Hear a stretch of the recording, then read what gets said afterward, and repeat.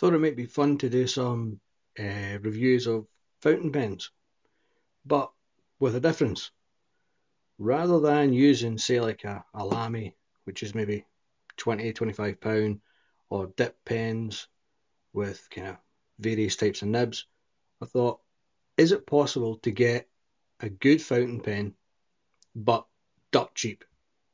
So my absolute limit is a fiver, including postage. So, is it possible to get a good fountain pen for under a fiver? So, first one that we'll look at is this Pilot V pen. Now, obviously, Pilot are a very well known make, certainly here in the UK anyway. And this is what they call, and it technically is, a disposable fountain pen.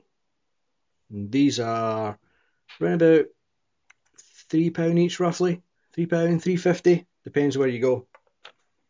Uh, let's have a look at the nib. I'll put a magnifying glass on here just so you can see it. But the nib really just says pilot and M for medium.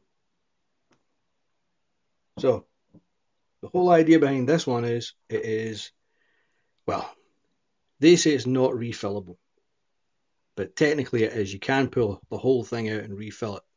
But really, for £3, is it worth the hassle? No, really. So, what we've got is the Pilot V pen. Uh, this is a, as I say, it's a medium nib, which means that I kind of prefer fine nibs, but yeah, again, it's three pound. Really can't complain for three pound. Um, they say that yes, it is disposable.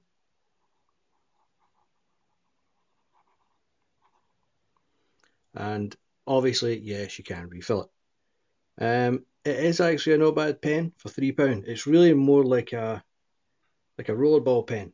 If you were to hide that section, you would think that it's just going to have an ordinary tip on it. So it is actually okay for 350. Yes, it is good. There is another one that has new fancy uh, erasable ink. Uh, it's a V pen as well. I tried that. It makes absolutely no sense.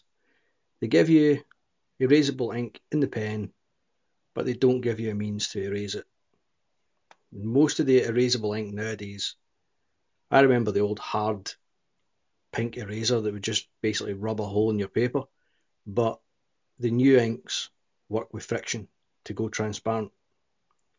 But the V pen, which is also a fountain pen, I should say, so another version of this, with the erasable ink, it doesn't give you any way of erasing it. It's just got hard plastic on the end rather than a piece of kind of hard rubber on the end. So I don't know why they did that. But anyway, that's also about 350.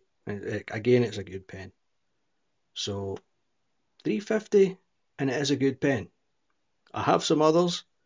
What I'm going to do is I'm going to go from relatively well-known makes that are cheap through to really completely unknown makes that are dirt cheap and we'll see how they are. See if they're just as good.